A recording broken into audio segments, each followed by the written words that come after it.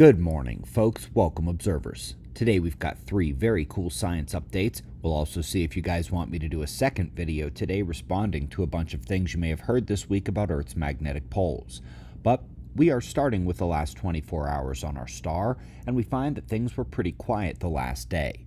No significant flaring, no significant eruptive activity. Everything just continued rotating, including the coronal holes. They had their solar wind beginning to arrive yesterday morning, and now it has fully settled in.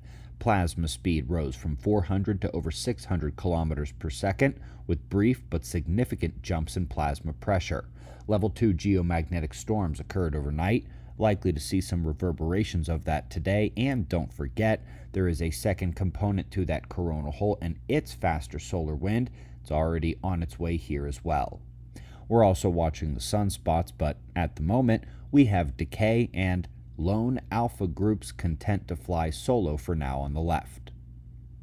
Up first in the articles, kind of an interesting one here. As a solar killshot scientist, I'm not big into crypto, but I don't begrudge you if you are. Hope you've hit some home runs along the way. Either way, studies are coming out tying Bitcoin motion up or down to anything and everything. Here's one on Bitcoin prices and solar activity. Up next, Gotta love this, especially if you're familiar with the urban heat island effect already. They're saying here that the way they analyze it now pretty much trash. It's full of uncertainty, and that the urban heat bias may be responsible for up to 74% of the warming recorded in cities. If it's anything over 30, the narrative ends the next day. And lastly, on the article front, we're up over 200 papers on this. Even the UN IPCC admits the sun works El Nino and La Nina, confirmation of not only phase forcing, but strength forcing here as well. Folks, a lot of things being said this week about the magnetic pole shift. I usually try to ignore these, especially since the last time I debunked Mr. Burns, about 20,000 of you threw a conniption. Tell you what, you guys drop a total of 400 in the chat donations here on this YouTube video before my dinner at 5 p.m. Mountain Time.